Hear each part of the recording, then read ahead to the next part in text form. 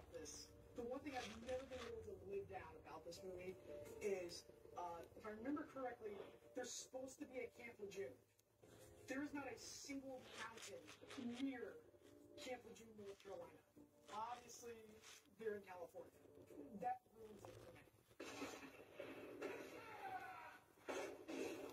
Accurate. This is not boot camp.